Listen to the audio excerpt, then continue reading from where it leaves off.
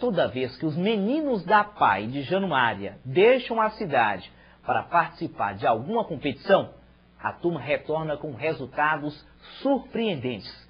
Veja como foi desta vez. No rosto de cada participante é nítida a satisfação. Estes meninos deram um show na quarta Paralimpíada em Montes Claros, com destaque na modalidade atletismo. Foram conquistadas 33 medalhas. Jefferson foi um dos destaques.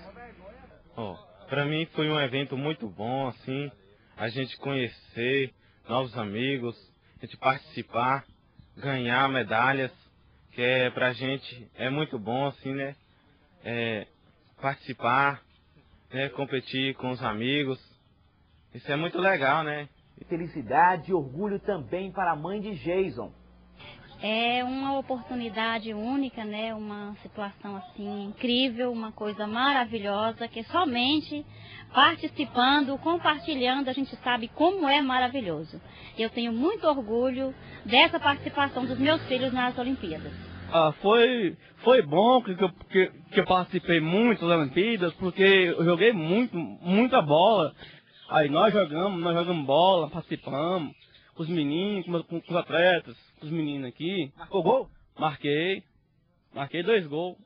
Estes meninos da PAI são exemplos de superação.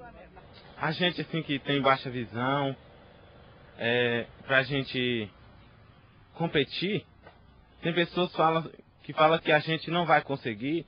Ah, mas você não enxerga, você não, não tem um, uma pessoa para te guiar. Mas assim, na força, assim, a gente tem aquela expectativa de ganhar medalha, aquele desejo, assim, de participar, né? Aí é muito bom pra gente, né? Para o professor Everton, que sempre se esforça para levar os garotos a participarem de eventos esportivos, essa foi a primeira vez que a PAI de Januária participa desta competição. Essa Paralimpíada ela tem uma vertente diferente das Olimpíadas da Paz. As Olimpíadas da Paz ela, ela, ela contempla aluno com deficiência múltipla, deficiência é, intelectual mais de moderada a severa. Já essa Paralimpíada ela contempla deficiências mais leves, no caso de deficiência visual, auditiva, deficiência intelectual leve. Então o nível é muito maior, porque nossos alunos são mais comprometidos, então consequentemente o nível é maior. Mas a, foi uma experiência nova, a gente foi para conhecer e que bom que a gente foi e teve um excelente resultado. I don't